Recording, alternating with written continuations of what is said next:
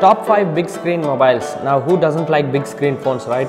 Under 12,000 rupees, I have compiled a list that you can buy right now in the market under 12,000 rupees.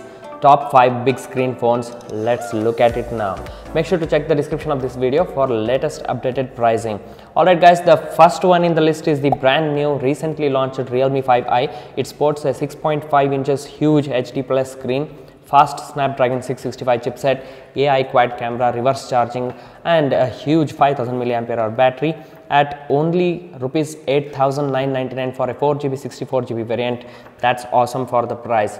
Next up in the list is the Vivo U20 4GB 64GB variant priced at 10,999 rupees will not only give you a huge 6.53 inches full HD plus screen but also gives you best performance with Snapdragon 675 chipset, UFS 2.1 storage, fast gaming performance and that huge battery that's 5000 milliampere hour with fast charging reverse charging and brilliant ai triple camera setup. This is easily i think the best value for money phone that you can buy right now which is the vivo u20 now next up in the list is the cheapest of the lot. It's the infinix smart 3 plus priced at only rupees 5999 you're getting ai triple camera setup 6.2 inches hd plus screen 8 megapixel ai selfie camera 3500 milliampere hour battery.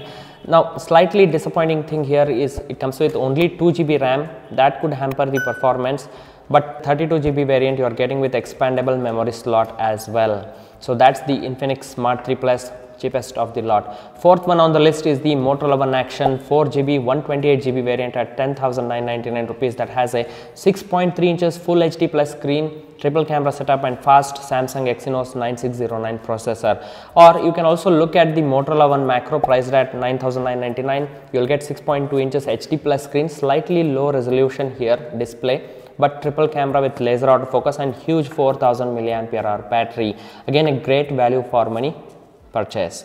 Next up, that's lastly on the list probably, is the Redmi Note 8 4GB 64GB variant at 11,999, 6.3 inches screen, 48 megapixel camera and 4000 milliampere hour battery. Now if you are looking for Samsung, then look at the M10s priced only at rupees 9490 has a huge 6.4 inches screen, 3GB 32GB variant slightly disappointing for the price. Now 13 megapixel rear camera is single i think it's the single rear camera you get single setup 4000 milliampere hour battery or you can also look at the Samsung's M30 now slightly older model which has super AMOLED display and 5000 milliampere hour battery.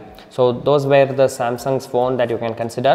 So guys which one did you ended up buying? If I missed any mobile let me know in the comment section down below. As always don't forget to click on that like button. Also share it with your friends. And don't forget to subscribe to this channel. I will see you all in another one. Till then take care everyone. Bye bye